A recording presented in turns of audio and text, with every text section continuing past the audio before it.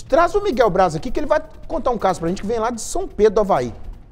Viu, Miguel? Um homem de 38 anos, ele foi encontrado morto numa área de mata fechada. Ô, Miguel, que mistério é esse aí? Boa tarde pra você.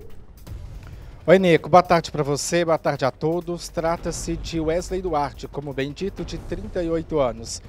A informação é de que ele havia saído de casa na companhia de outras duas pessoas sob a alegação de que iria caçar animais.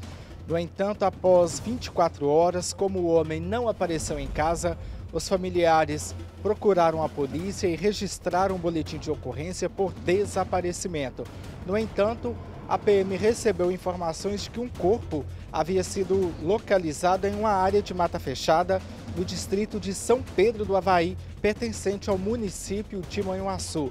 No entanto, uma equipe foi para lá, o Corpo de Bombeiros também compareceu ao local para a retirada do corpo, porque era uma área de difícil acesso. A perícia da Polícia Civil também atuou nesta ocorrência e identificou algumas lesões, né, algumas marcas, alguns ferimentos no corpo. No entanto, a polícia trabalha com a hipótese de um assassinato justamente por causa das feridas. Mas também essas marcas podem ser, né, podem ser de outras circunstâncias.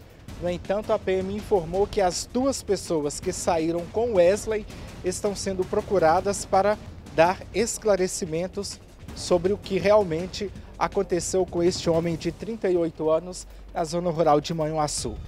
Nico. Explicar direitinho, né, Miguel? Oh, que hora que vocês se encontraram?